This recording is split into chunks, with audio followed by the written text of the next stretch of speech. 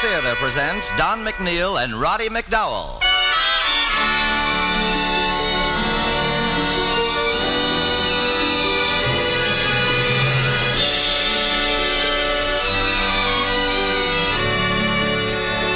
From Hollywood, the Mutual Network, in cooperation with Family Theater, presents Roddy McDowall in The Flame and the Sword.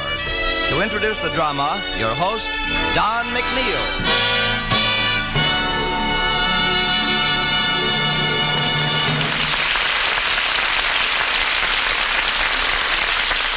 Thank you, Tony Lafrano. Family Theater's only purpose is to bring to everyone's attention a practice that must become an important part of our lives. If we're to win peace for ourselves, peace for our families, and peace for the world. Family Theater urges you to pray. Pray together as a family.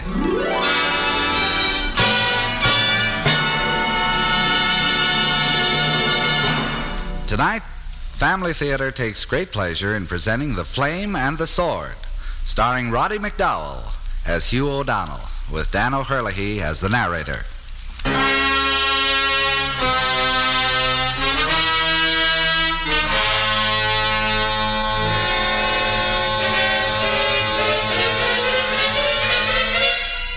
Victory lies not in senseless armor, nor in the vain din of cannon, but in living and courageous souls.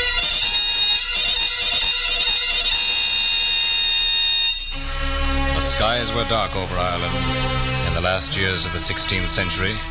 Leaderless, invaded by England, with even some of her own nobles betraying her by pledging their loyalty to Queen Elizabeth, Erin was prone until, in the north, a smouldering fire flamed forth again.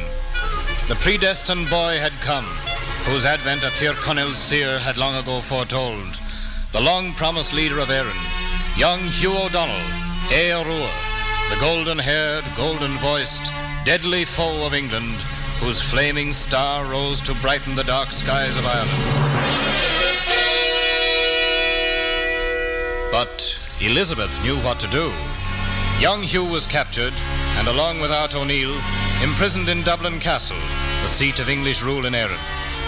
For four long years they languished in chains, and then, on one snowy Christmas Eve in 1591, the guards and soldiers of the Queen were gathered together in the banquet hall to celebrate the Yuletide.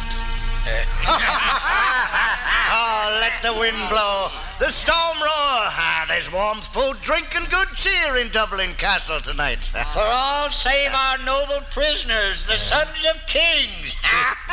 Barbarians. O'Donnell and O'Neill should congratulate themselves that they're out of the storm. It's no fit night for two so young. Even their royal blood would run bluer and colder in this storm. Make no mistake, gentlemen. It's worth our heads to see that those same prisoners do stay within Dublin Castle. Oh, with them in chains and us to guard them, who dare to attempt to free the lads, my captain? There are men enough in Erin to attempt such a mad deed. Tyrconnell awaits his coming, and his mother has devoted her life freeing him.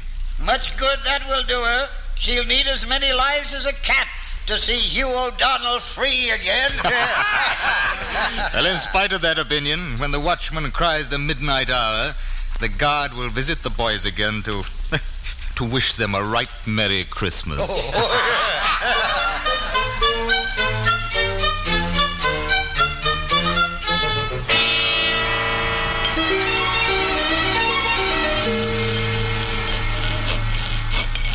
Pray heaven the guards do not hear the rasping voice of that hungry file, Hugh. Uh, the Elizabethans hear nothing but the voice of their own appetites. More to eat, more to drink is the loud cry of their bellies. Aye. Shall I hold the lamp closer? Nay, 'tis almost done out. This is the last link on your chain and mine. There. And now, stand free.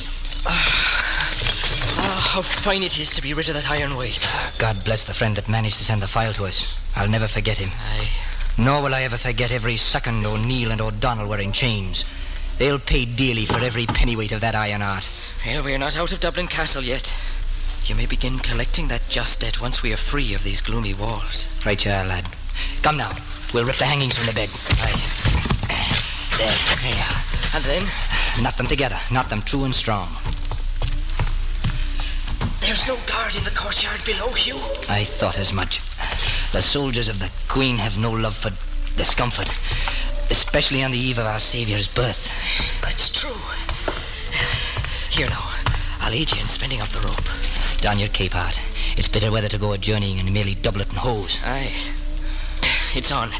Now, let me at that rope. No, I'll go first to test its strength. Oh, but Hugh, let me go first. If we are discovered, I'll cause enough confusion to allow you to vanish in the storm. You must be saved. We'll both be saved, my friend. It's by no accident that we flee Dublin Castle on Christmas Eve. Ah, that's true. Well, and all's well. Come then, Art, and follow me down the wall, away from the castle and death. Ah, Hugh, it looks so far down to the courtyard. I fear we'll fall. Ah, take courage, my friend. Let yourself down. Tis not far to freedom. Only the wind and snow make it seem so. Oh, Art, uh, Art, what is it? A stone came loose. It struck my leg. You're not hurt too badly. It pains, but not enough to stop me here to be found swinging like a puppet on a string. Spoken like an O'Neill. Come, lad. It's not much further.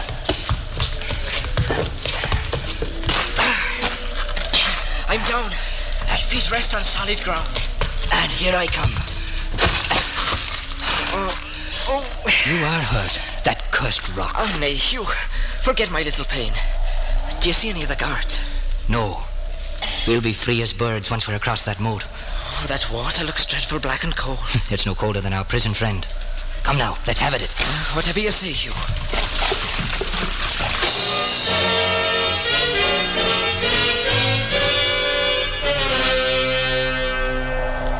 Here, my lords, I'll give you a hand to help you up. My friend first. I'll boost him from below. Careful now. And up he comes.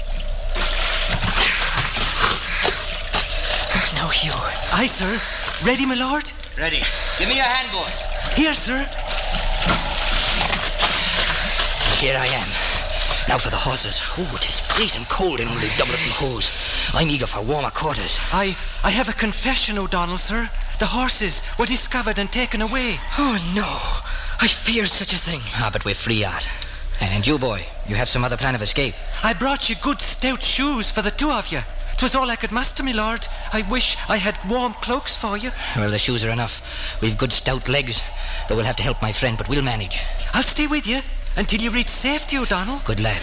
Now let's not tarry here any longer. They're sure to discover our escape on the next watch. Come, let us go.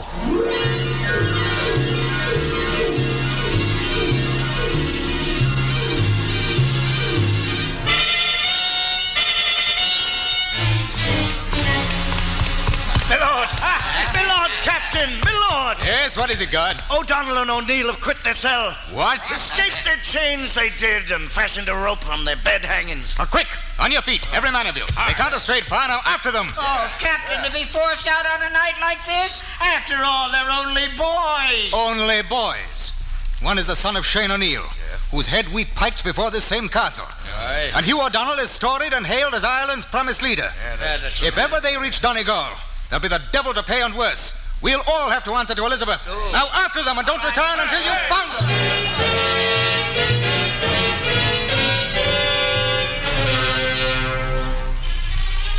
On and on into the deeper darkness went the boys, past the outskirts of the city, on towards Slieve Ruer, the Red Mountain.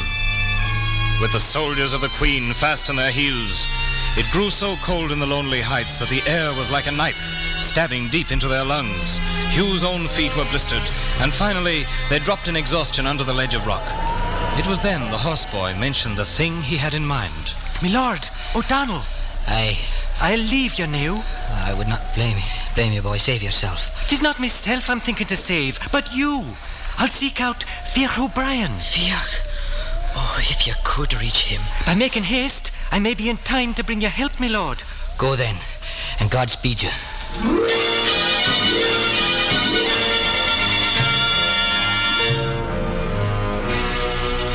That night passed, and then the second day and night, and while their furious foe tramped up and down the White Mountain in the deadly search, the helpless boys, only half protected by the rocky ledge, lay cradled in the snow.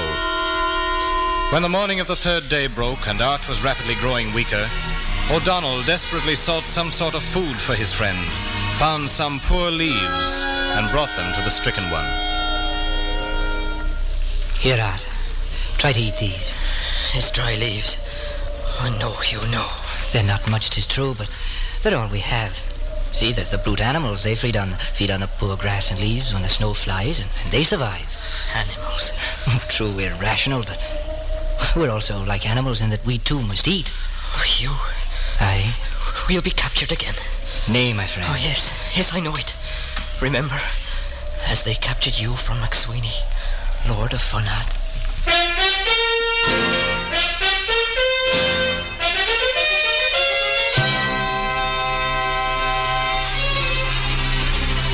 McSweeney! McSweeney, where are you?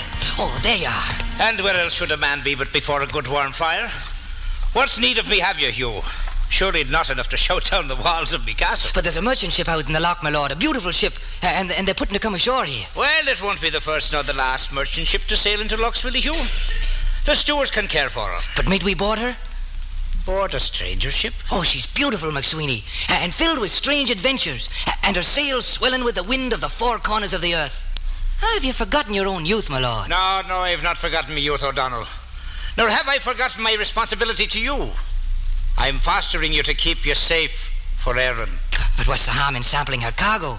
She carries spices uh, and rare foods. Oh, rare foods, eh? Aye. then we'll board her, Hugh. There's sure to be no harm if we take our retinue. no harm at all, McSweeney, uh, unless we eat too much.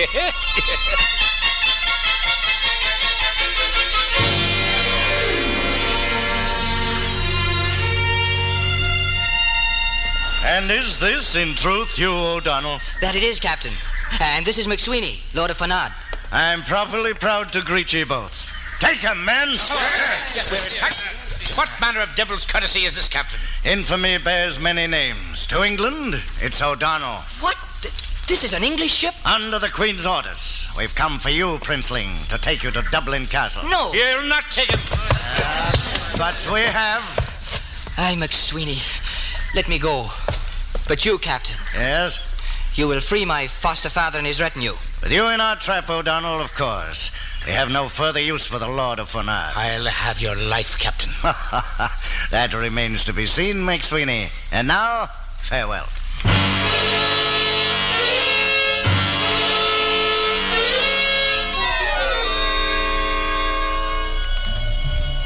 No, Art. They'll never fool me again that way. Never proffer the hand of friendship with a dagger ready and waiting for the heart. Or just wait, Art. Soon we'll, we'll be on the farms again. We'll be able to, to fish again, to build again, to live again, and, and hunt. Remember, Art, our, our stag hunts, the bugle call, the excitement of the chase, and, then at last the, the kill? Art.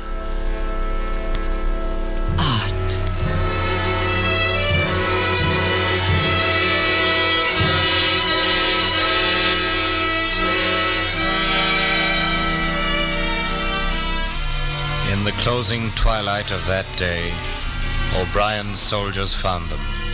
Not at once, for the light of the lantern was dim, and the boys were mostly hidden by the drifted snow. They seemed as dead. The rough soldiers were deeply grieved as they uncovered the white faces and limp, motionless limbs of the noblest youths in all the land. Yes, Art was dead. But Hugh still lived, though painfully injured. They wrapped him in their cloaks and formed a litter of their spears to bring them to the mighty house of Fiach O'Brien.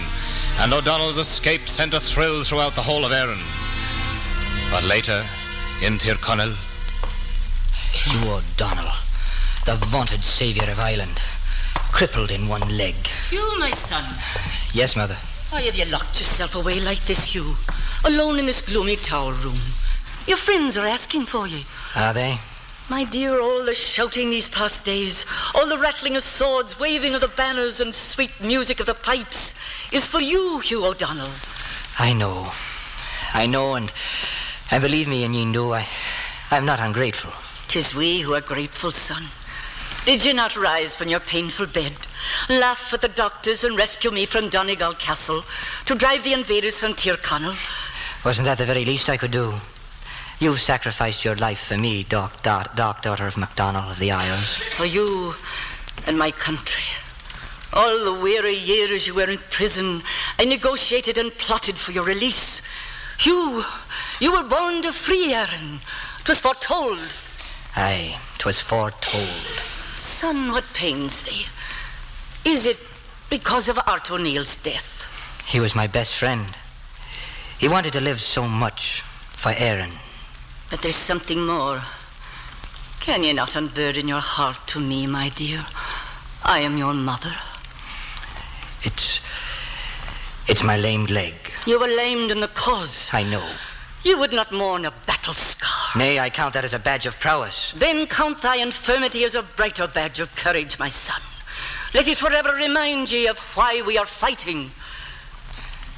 Thank ye, Iníon Dubh. You've healed my heart and my leg.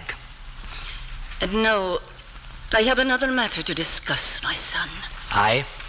Your father is old and ill. I know. He is tired of this world where treachery and dark ways prevail. He seeks the goal of all war worn Irish princes, Hugh. You mean a, a monastery? Yes, and soon.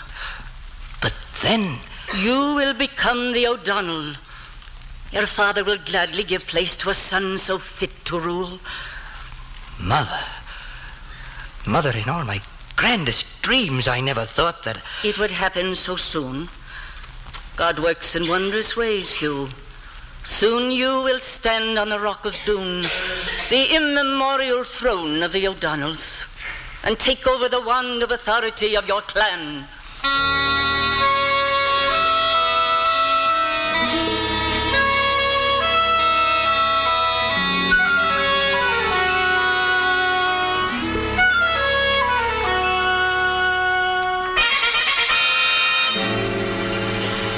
And so it was. On a fair day in May, young Hugh stood on the rock of Doon, the white wand in his hand. This white wand is the symbol of what your rule must be. White and straight, pure and strong. You are taking your noble title at a time of crisis in Ireland. She has great need of you, Hugh O'Donnell. Hold high your torch, that others may see and follow. Dedicate thyself to thy destiny. The leader, young and valiant, who will free Erin from the foreigner. I turn thrice from left to right, and thrice from right to left in honor of the Holy Trinity.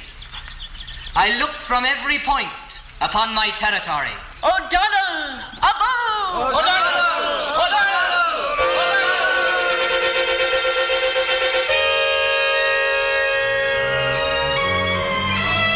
The spear was flung through Tyrconnell. The English invaders were driven out, and the disloyal Irish lords who'd sworn allegiance to the foreigners were taught that O'Donnell was their only chief. Hugh swept through Ulster, driving out the English sheriffs, invaded Connacht, hurling Bingham's forces to destruction, and a man named Hugh O'Neill watched and wondered, and finally sent for the O'Donnell. Your fame has marched before you, O'Donnell. Your star has risen and shined high in the north over Ireland. And I've heard much of you, O'Neill. You do not share my enthusiasm over our meeting? As O'Neill, aye. But as the Earl of Tyrone, nay. I did what I thought was expedient. I had to learn whether I and other men like me could live under English rule. Expediency never won freedom. And what did you learn of English rule and Englishmen? I, I visited London to answer the charges against me. Charges accusing you of being loyal to Erin. And why shouldn't you, an Irishman, be loyal to your country? It was not only for myself I spoke, O'Donnell, but for my country. I thought perhaps there might be a, a middle ground. Appeasement. No, no, no. Diplomacy. You must be a master diplomat. You did win favor with Elizabeth. Aye, you won it for a time. But it was only a bright ribbon in a false wind. O'Neill, she's already decided upon your destruction. You have a big mouth for so young and inexperienced a chieftain, O'Donnell. Inexperienced? Held chained and captive for four long years in Dublin Castle, losing my best friend and your clansman, Art O'Neill, in the escape, and riding, fighting, hungering, striving ever since. Do you call that inexperience, O'Neill? I. I'm sorry, O'Donnell. I did not bring you here to quarrel. There's been enough of that between the Irish chiefs. Well put. There's been too much. You spoke truly.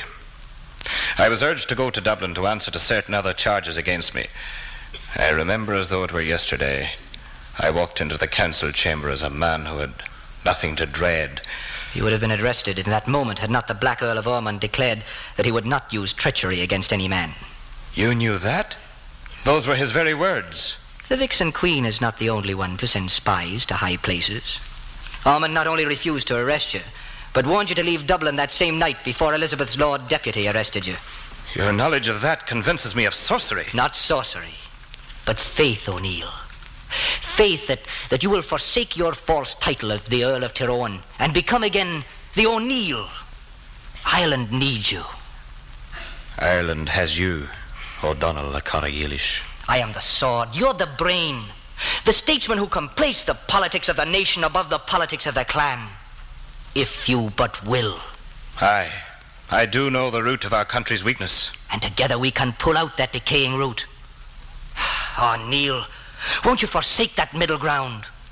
Won't you join us? I will join you, O'Donnell. I'll cast off my English title and again be a free Irishman. To the death. To the death. My hand on it. And mine.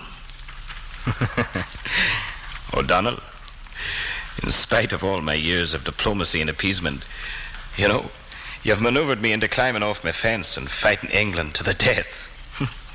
the brain and the sword for Ireland. For Ireland. The brain and the flame and the sword.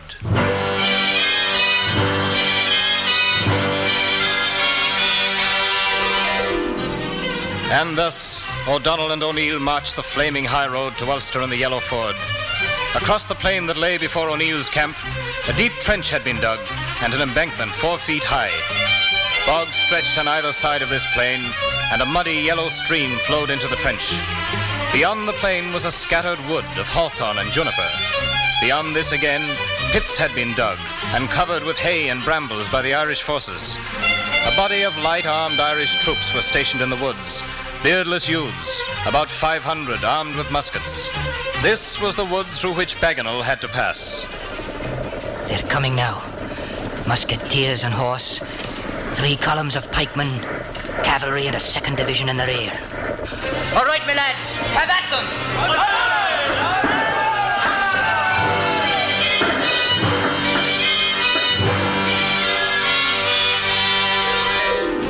No sooner had Bagenal struggled from the woods and reached the plain with the remnants of his troops than he saw his men falling into pits. There were skirmishes, retirements, charges, and advancements, and by the time the confused Elizabethans knew what they were about, they found themselves already almost routed, facing O'Neill's camp across the Yellow Ford.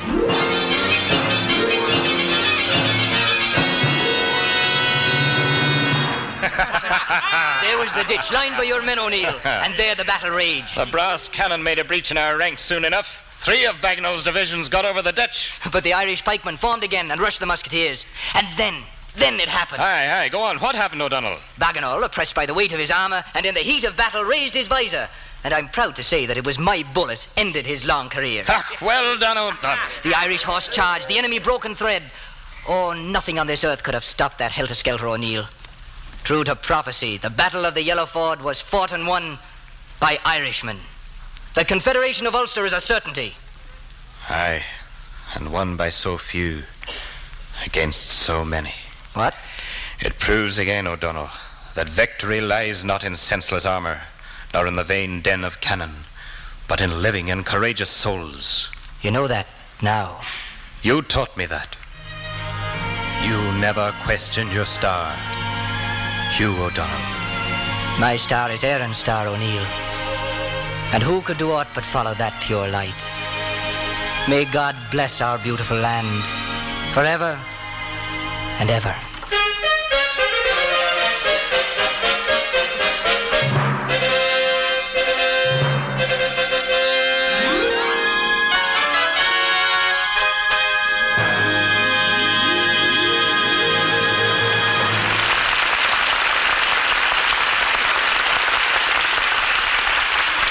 This is Don McNeill again. You know, I could borrow a thought from the title of our drama. because prayer has been called the flame of the living and the sword of the saints. But I'm going to try to develop another thought. Just the other day, I heard prayer likened not to flame or sword, but to a blind man's stick. Who of us hasn't seen the wonders that a blind man's white stick can perform? Makes every face the face of a sympathetic friend, and every arm the aiding arm of a neighbor. What king's scepter, what shining knight's sword, what magic wand could instantly command as many allies as this slender, harmless, dependable white stick? There are few things that can pacify the clamor of automobile drivers at a busy intersection, but I've seen a blind man's stick do it. Traffic signals or a policeman's club haven't a hundredth of its power. In Times Square, on Michigan Boulevard, at Hollywood and Vine, I've seen the look it can bring to the faces of drivers who an instant before would commit mayhem for just an inch of territory. That little white stick seems to make everyone say, There, but for the grace of God, goes I. It silences every selfish thought. And prayer is like that gives us courage, confidence, direction, hope. It can pacify the clamor of an angry heart. It makes us recognize every man as a brother or neighbor. It helps us to pick our journey through life's darkness, avoiding obstacles in our path as we tap our way toward a goal that our minds tell us is and must be there, although it's often hidden from our eyes. And the unifying force of family prayer is especially needed in our times. For the family that prays together stays together. More things are wrought by prayer than this world dreams of.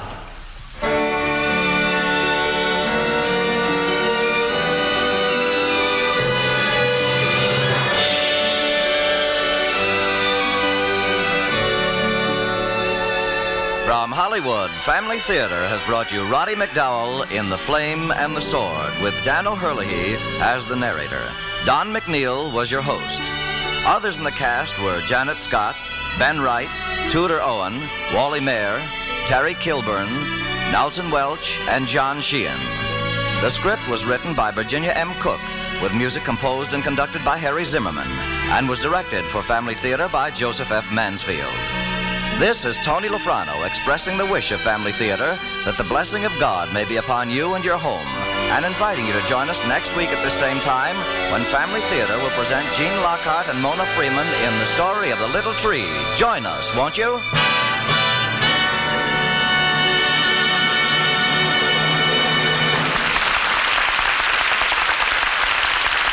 Family Theater is broadcast throughout the world and originates in the Hollywood studios of the world's largest network, the Mutual Broadcasting System.